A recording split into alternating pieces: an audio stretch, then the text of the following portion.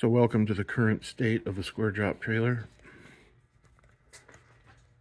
We're in deconstruction mode.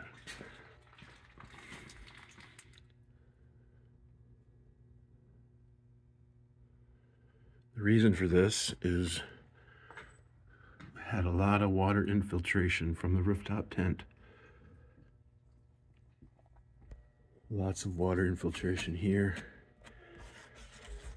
along here.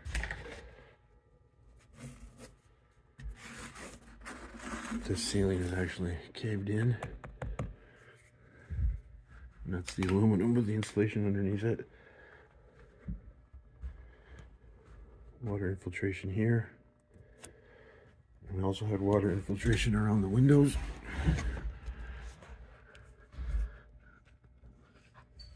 Can't see it too well now. This is, but this is rusting. So the green lines kind of represent the plan. I have a SketchUp drawing that I'll put up.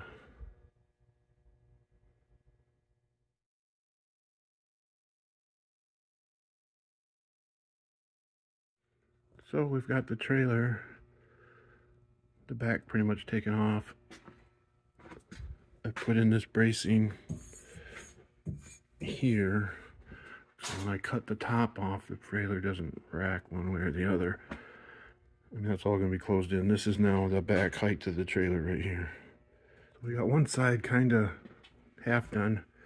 We got the new brace in place right here. And this is solid again.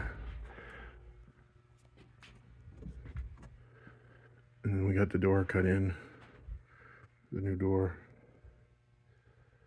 You can still see my line where this is kind of going to go.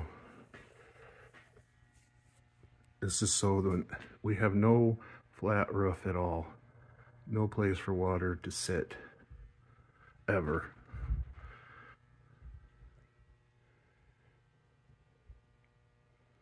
I'm doing it in stages. We're gonna get the other side over there done next, and then we'll piece in the pipe, the tubing across square tubing to tie this back in, and then we'll cut that and that and go from there. Just trying to keep it as square as possible. If I'm afraid if I cut everything loose now, it's just gonna flop.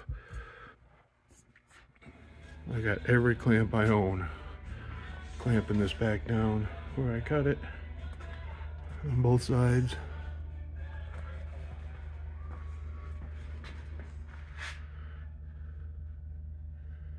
Time to call it a day.